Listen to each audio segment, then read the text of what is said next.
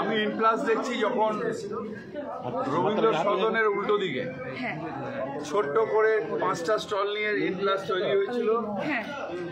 সেই সময় থেকে আমি দেখছি ইনপ্লাস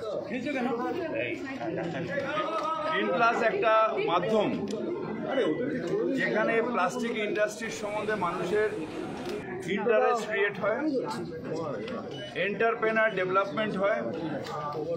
আমার মতন একটা বেকার ছেলে কি করব কি করব যখন ঘুরে বেড়াচ্ছিলাম,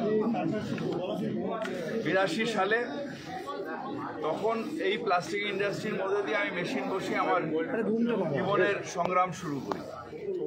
সুতরাং এইখানে যত মানুষ আসবেন, নতুন নতুন আইডিয়া নতুন নতুন ক্রিয়েশন এগুলো যত দেখবে তত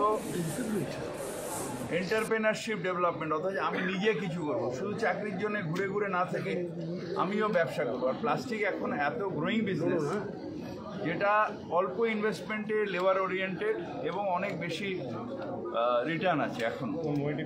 তাই প্লাস্টিক ইন্ডাস্ট্রির এখন স্কাই ইজ দি লিমিট এখনও অনেক ডেভেলপমেন্ট বাকি আছে আর আমি যেটা এদের আজকে বললাম সেটা হচ্ছে ওয়েস্ট আমাদের ওয়েস্টটা প্লাস্টিক ওয়েস্ট একটা বড় সমস্যা। আমি যে আমরা যারা পৌরসভা চালাই।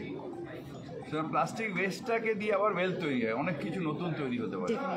এইটার ব্যাপারে রিসার্চ চলছে আমি এক্ষুনি দেখলাম যে বেঞ্চ টেঞ্চ তৈরি হয়ে গেছে হ্যাঁ, হ্যাঁ, অলরেডি সুতরাং এরকম আরও অনেকগুলো প্লাস্টিক ওয়েস্টের প্রোডাক্ট তৈরি হলে তখন আর প্লাস্টিকটা সমস্যা থাকবে না তখন প্লাস্টিকটার ওয়েস্টটাও আরেকটা নতুনভাবে ভেঞ্চার হবে।